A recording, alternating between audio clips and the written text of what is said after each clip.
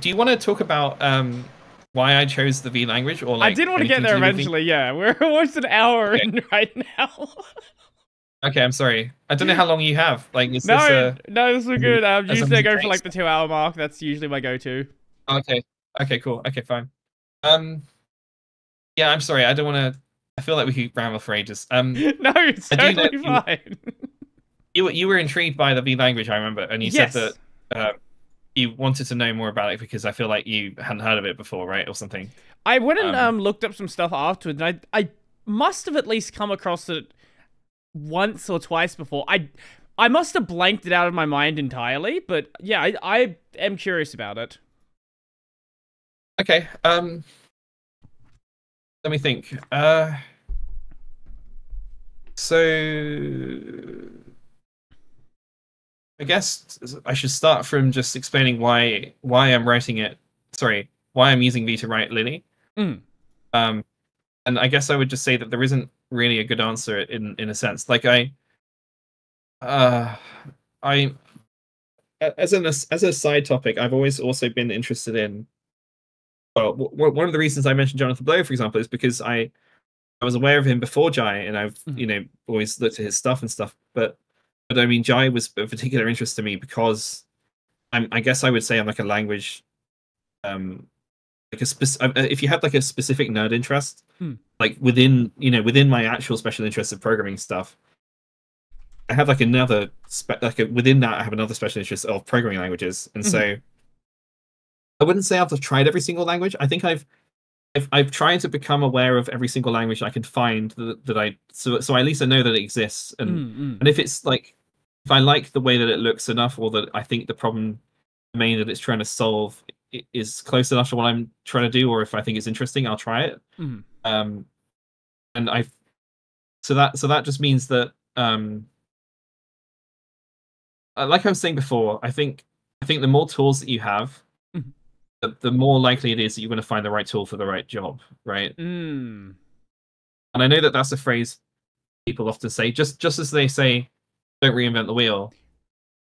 Probably the same people will also come, turn around and claim that they, they use the right tool for the right job, and then immediately use the wrong tool for the for the wrong job. Well, in like the Um, opposite sense of that, like you know, if if the only tool you have is a hammer, every problem looks like a nail. It's kind of like the the opposite approach of that, right?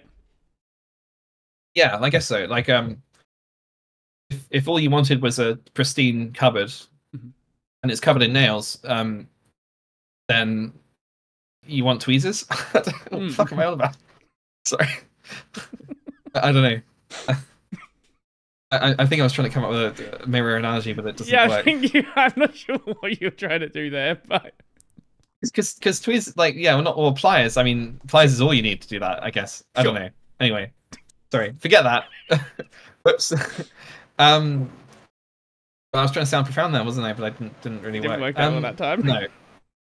Uh, what was I saying? Okay, so so I think uh, it's tricky to answer because I'm I'm kind of always again I, I I'm trying to answer it with with keeping in mind that people are going to be like viscerally foaming at the mouth just the concept that I'm using a language that's not their favorite one or something. Mm-hmm. mm-hmm. Um, so I'm trying to I'm trying to answer it. Oh, I get a lot of these people Just- in my comments. Like, I have a lot of Rust fans in my comments. I have a lot of Zig fans in my comments.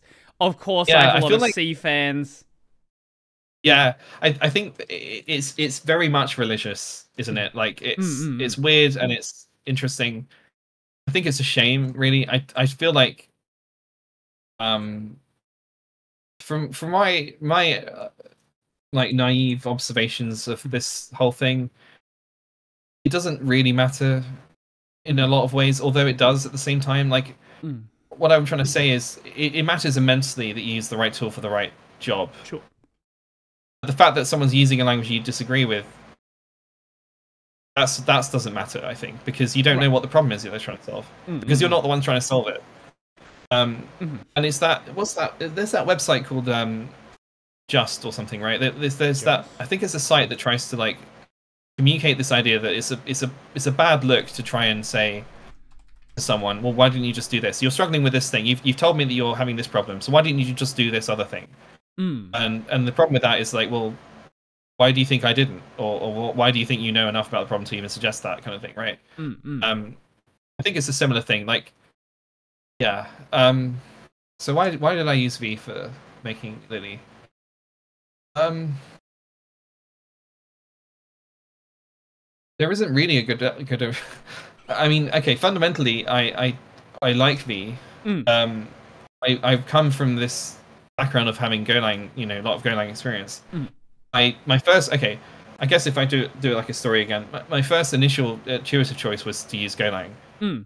Um, problem is, I don't feel like Golang is good for that because, it, from my, um, sorry, I'm just trying to think as I, as I yeah.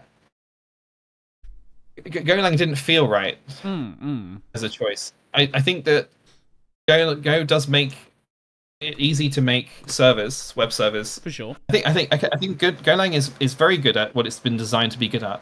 Mhm. Go is very good at making web servers and command line tools. Mhm. Um, and obviously, there's a good there's a quite a lot of parallel between command line tools and something like an editor, but there isn't at the same time. I think an editor is way more stateful than a regular CLI. Obviously, it's a you know it's a whole program Mhm. sorry of, of, well clis are whole programs as well i just I'm, what i'm trying to say is they um it, just intuitively or like instinctually golang didn't feel like the good option for for this Mm.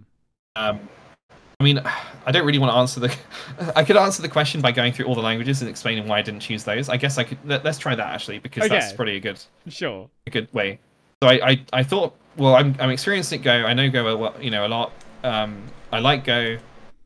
It sounds like a nice idea to use the language I enjoy Mhm. for a project that's that's big and potentially long running, hopefully. Um, but I think I knew just from inst- from instinct that, that it was going to be a bad choice and that I would regret it. Mhm. Um, Mhm. There's a few different things I could probably explain in more detail in a minute if I get if I remember what they are. But there's like, yeah. Anyway, so I I don't know. I feel like I feel good when I use Go for things I feel like it's designed for, Right. especially concurrency things. Mhm, mhm. Um, and I don't feel like I felt like it was. It didn't feel like a good choice anyway. So, Mhm. um, let's see. why why didn't I choose um, Python? Well, I didn't choose Python because um, I'm not a masochist, and I I, uh, I I didn't choose Python because I don't like how it's not easily distributable as a as a solution. Mm. Um, and again, it doesn't really feel like a good fit for for this. Sure. Sure. I didn't choose um, something else like um, you know Zig. Um, I did actually look into Zig, but I, I was already quite aware of V before I tried. You know, I was already so this is kind of like an, a, an accident history, I suppose. But I, I actually know you know what I'll talk about Rust first because it's kind of kind Okay. of slightly related to why I'm using. So Rust, I I don't like Rust a lot, but I also love Rust at the same time. I think that the other day I was working on a um it- actually this is kind of weirdly tied to what we were saying earlier before this before this whole call started. Um you remember I mentioned about Red on Penguin Mm. or whatever she's called? Yeah. Um, so I was watching one of her videos the other day, and she, she one of the tools she mentioned was actually very opportune for me. Um, it's called um, Pastel, and it basically is it's a cool way of being able to like um, pick colors and, and figure out like what hues are possible in your current terminal editor, that kind of thing. Okay. Um, and I, I was looking at this feature set and thinking, you know, what would be really cool is if I could convert um, just the ANSI like color number into RGB. That doesn't seem to be one of the options it has, and so I, I know I'll just go at it because you know I, I'm a developer. I can. It doesn't have a feature I want it. I'll go at it, right? Mhm. Um, and I was like, this is really nice. Like Rust is, it feels cool. Like it, it's, it, it, I, I, mean, the hype aside, you know, it felt like a good experience to me adding this this feature. It was pretty straightforward to do. Didn't require much effort. Um, didn't have to use any external tools. I, I didn't use an LSP. I didn't use a fancy editor or anything. I just did a grep. You know, where is this current flag that I know of exists in the same kind of vein of what I'm trying to add, and I'll add my thing next to it, whatever. And it was quite an easy, nice experience. Um, although at the same time, I, I guess I just, I don't know. Hmm.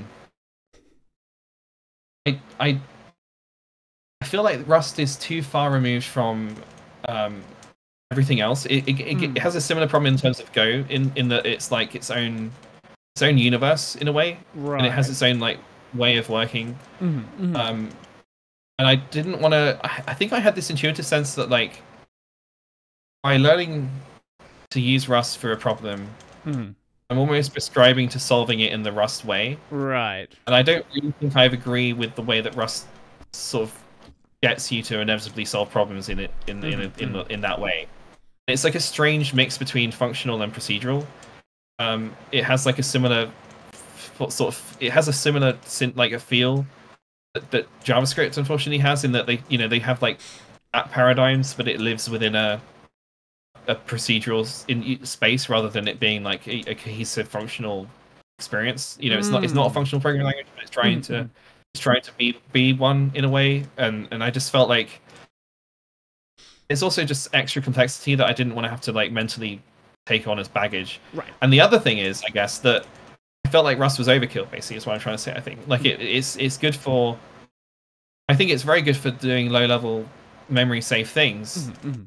Stuff like you know uh, firmware drivers for pacemakers or something right Sure. where i really don't want my relative to die because of a memory bug or something Right. Right. um i don't really care about my editor crashing because of a memory bug if anything that's better than it staying alive and then corrupting data or something Sure.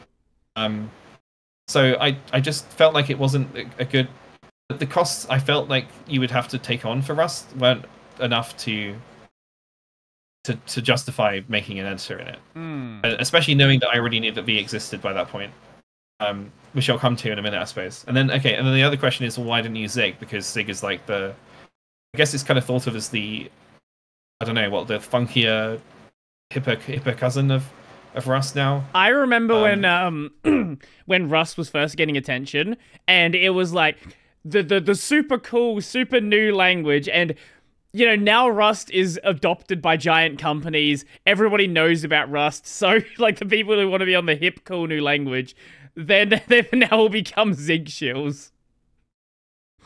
Yeah, that's true. Yeah, and it's an, and it's it's shit, right? Because it, I guess, okay.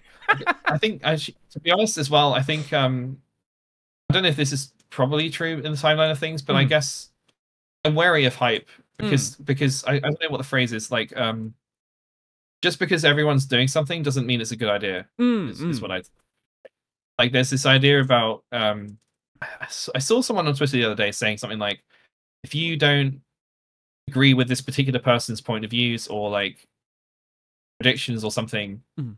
you're not prepared for what's coming. You know, it's probably some bullshit related to AI or something. Sure, sure. And I, I read that and I thought, well, actually, um, you know, they aren't the same thing. They're not. They're not parallels. Like, Mhm. uh, not, not parallels isn't really the right phrase, maybe, but um, they're not equivalents. Mhm. Like, you can you can be aware of something and understand it, and also not agree with it, Mhm. right? Or or you can like not agree with it and also be prepared for the future at the same time. I don't know. Um, so I guess that's part of the reason why I didn't choose Rust, precisely because maybe something seemed too good to be true. Like why Mm.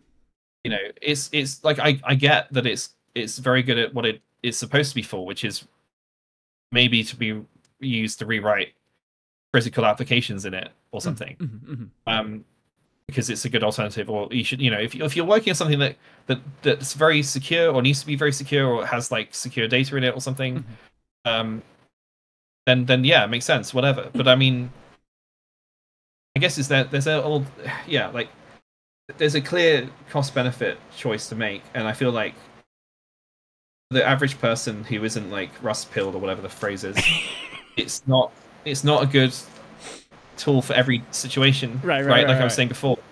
I think there's some things that Python's amazing at and should Mm. always be used for that thing. Mhm. Um, I think there's some things that C is amazing at and should always be used for that thing. And you know, there's lots of different, and Zig is probably amazing at certain things as well. Mhm. Um, but yeah, I, I I- I know what you mean. I feel like that's something that has something to do with the choices I make. I think. Um,